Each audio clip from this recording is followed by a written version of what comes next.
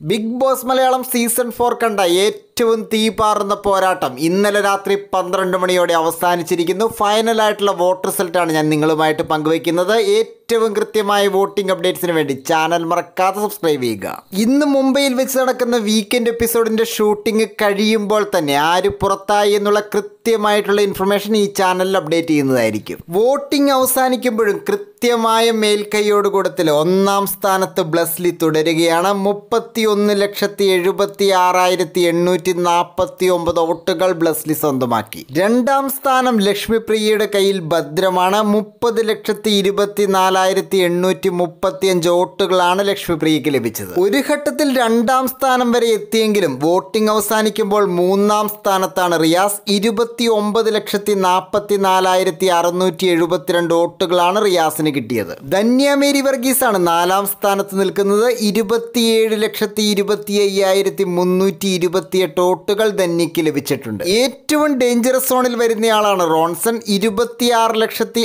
തൊണ്ണൂറ്റി നാലായിരത്തി എണ്ണൂറ്റി മുപ്പത്തി ആറ് വോട്ടുകൾ മാത്രമാണ് റോൺസൺ ഇതുവരെ നേടാൻ കഴിഞ്ഞത്. ഈ ആഴ്ചയിൽ ഡബിൾ എവിക്ഷൻ ഉണ്ടാകാനുള്ള സാധ്യത വളരെ കുറവാണ്. അതുകൊണ്ട് ഈ ആഴ്ച പുറത്താകുന്നയാൾ റോൺസൺ മാത്രമാകാനാണ് കൂടുതൽ സാധ്യത. ഈ ആഴ്ച ആരൊക്കെ പുറത്താകുമെന്നുള്ള കൃത്യമായ ഇൻഫർമേഷൻ ഇന്ന് വൈകുന്നേരത്തോട് കൂടുതൽ ഈ ചാനലിൽ അപ്ഡേറ്റ് ചെയ്യും. നിങ്ങളെല്ലാവരും കാത്തിരിക്കുക.